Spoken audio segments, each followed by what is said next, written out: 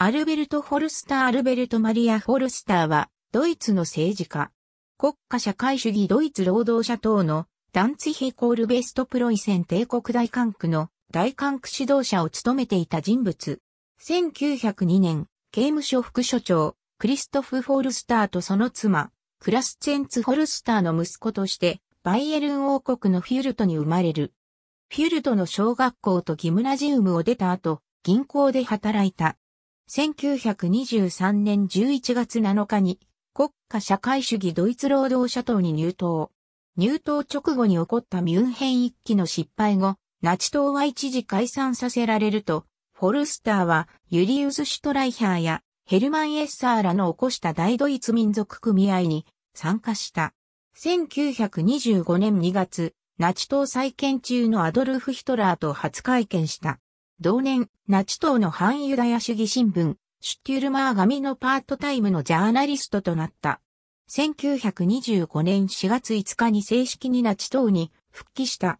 1925年からフルタイムのナチ党の弁士として活動するようになった。1926年5月12日に親衛隊に入隊。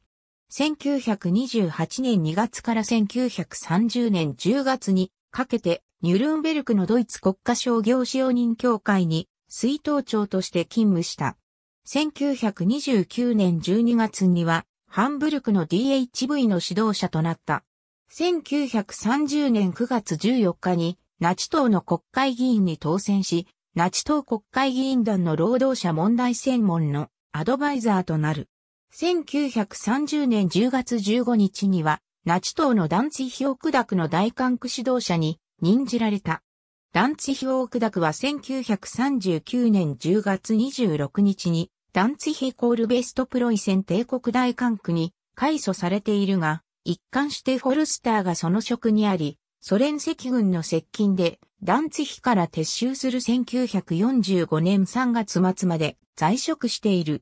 ポーランド侵攻後の1939年9月20日には、フォルスターはアドルフ・ヒトラー、ハインリヒ・ヒムラー、ラインハルト・ハイドリヒと共に、ポーランド占領政策の基本方針の策定に当たっている。